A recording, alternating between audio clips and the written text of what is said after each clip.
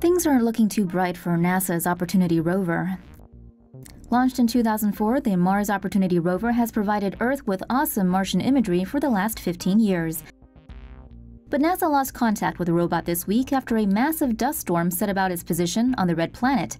That storm has, according to the space agency, darkened the Martian skies almost completely, making it hard for the solar powered machine to operate.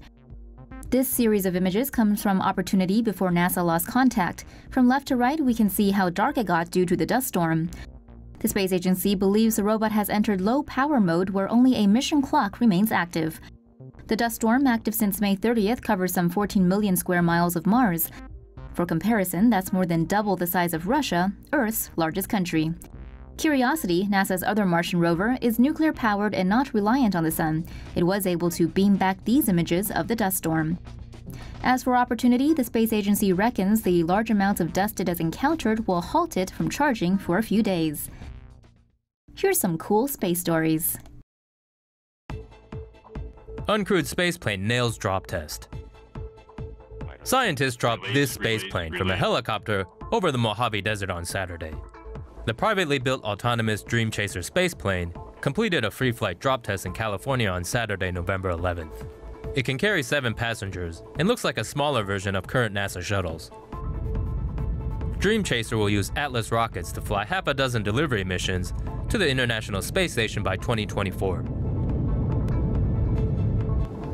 The test examined the plane during the final approach and landing phase of flight.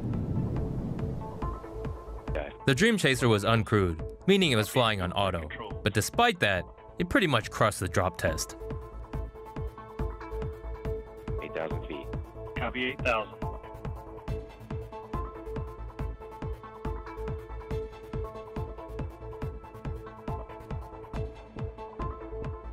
Caravan. Good radar altimeters. Approach and land. PTIs. Copy approach and lands. PTIs are active.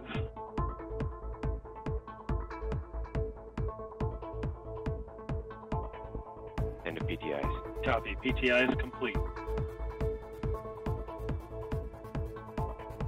400 feet. Copy 400. Landing gear. Copy gear deploy. Good gear deploy. 5 feet. Touchdown.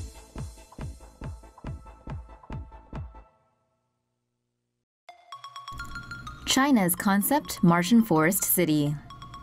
Matt Damon sure could have used one of these concept Mars homes in 2015's The Martian.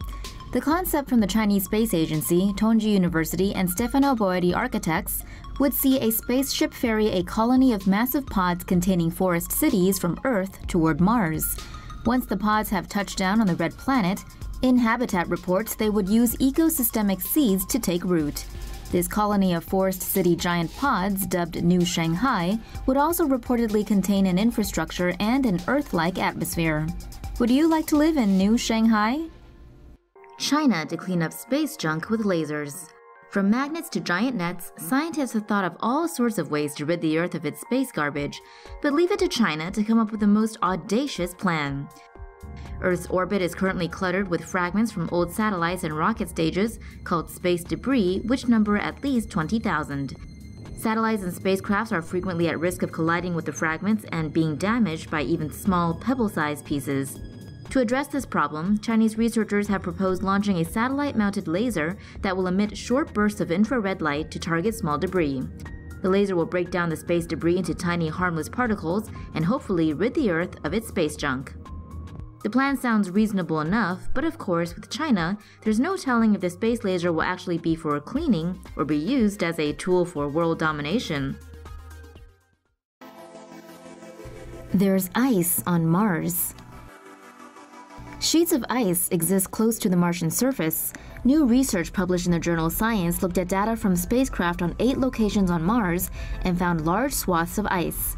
The sheets are said to be located near the surface as well as close to depths of 100 meters. Researchers also found cliffs made up of water ice. According to Science, the ice sheets could be useful for future missions to Mars. In other words, water might just be within our reach on Mars. How cool is that? No more photography duty for astronauts. The Japanese Aerospace Exploration Agency has developed a cute floating camera drone that can lighten the workload of astronauts on the International Space Station. The Int-Ball weighs 1 kilo and has a diameter of 15 centimeters. It uses the existing drone technology, miniaturized altitude control sensors and actuators in an all-in-one module. The Int-Ball arrived at the International Space Station last month and is remotely controlled by the JAXA Tsukuba Space Center from the ground. In the future, the Int-Ball is expected to take over photography duties from the space crew and will be able to operate autonomously.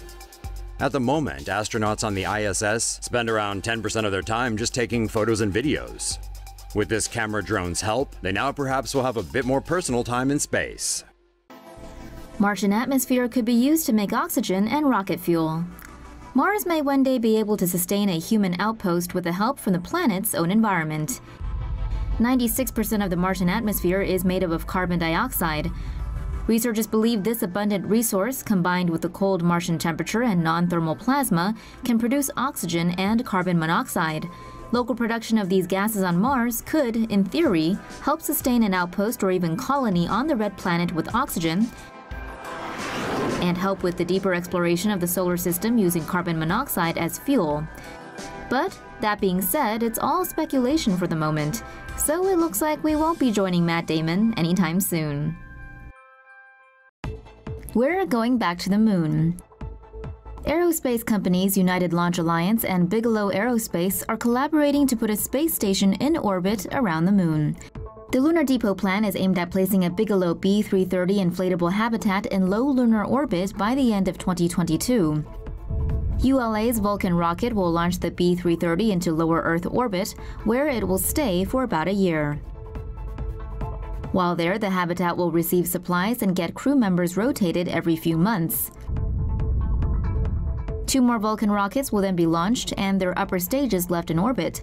After propellant from one stage is transferred to the other, the fully fueled stage will attach the B-330 and propel it to its final position orbiting the Moon. The companies claim the habitat can serve both as a platform for lunar business development and a location for NASA to conduct exploration and astronaut training missions.